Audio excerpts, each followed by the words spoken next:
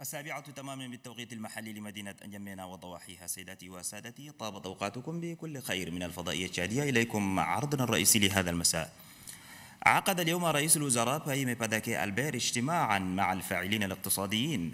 الاجتماع يهدف إلى تفعيل النصوص والقوانين الجمركية المتعلقة بمراقبة السلع المستوردة. كما ركز الاجتماع أيضا على ضرورة تفعيل تحصيل الرسوم الجمركية. تقرير خالد موسى الحاج. تعاني مصلحة الجمارك تراجعا في الإيرادات في الآونة الأخيرة ويعود ذلك إلى عدم تفعيل النصوص والقوانين الجمركية.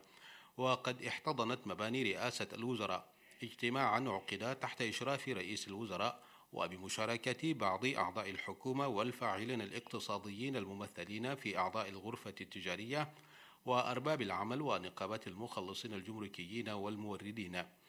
وتمحور الاجتماع حول ضرورة تطبيق الأنظمة والقوانين التي وضعتها الدولة لمراقبة استيراد البضائع.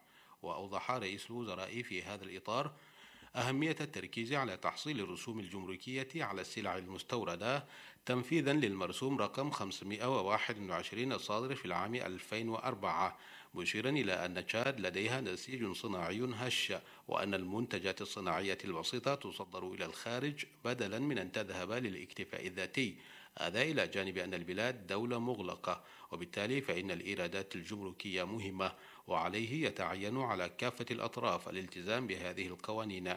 وبدوره وزير المالية والميزانية جورج كريستيان أكد أن هذا الاجتماع يكتسي أهمية خاصة وذلك للتأكيد على أن الإجراءات واضحة وأن ما تطالب به الحكومة هو ضرورة احترام هذا القرار من قبل الفاعلين الاقتصاديين.